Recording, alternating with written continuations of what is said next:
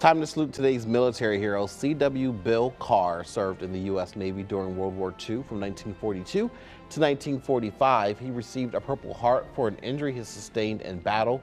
He's buried with honors at Fort Indiantown Gap National Cemetery. We remember him, we salute him, we thank him for his service.